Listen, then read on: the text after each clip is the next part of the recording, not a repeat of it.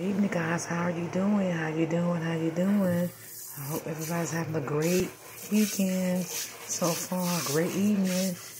I just came to show y'all what I did today. I made a little thing of baked macaroni. I mean, um, little um baked ziti today for dinner.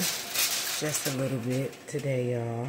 You know, I put my little stuff in it, just a little bit. You know. But today, this is gonna be for my dinner for today, guys. That's it. I'm gonna do a nice dinner tomorrow for Easter. And I just did two pieces of garlic bread. That was all I did for the day, guys. You know, that was something just for me for today.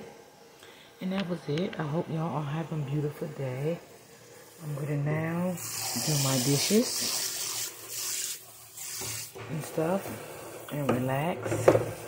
That's what I'm going to do now, guys. Clean up my kitchen.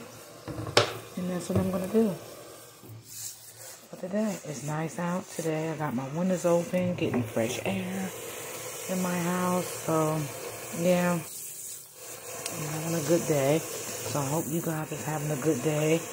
I want to tell you guys to enjoy the rest of your day. Stay prayed up. Be blessed. I love you guys and I will see you guys one day, maybe next week.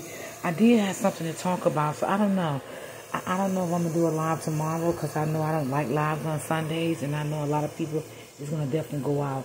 So when I get off work Monday, um, if I'm not tired, maybe I will do a live um, when I get home, and I wanna um um